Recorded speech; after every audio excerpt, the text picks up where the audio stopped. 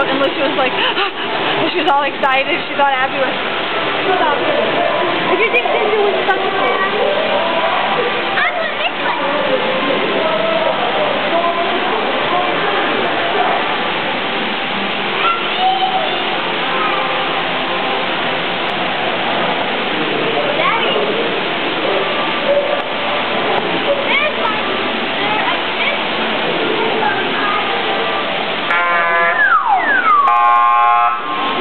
free to air, just like you.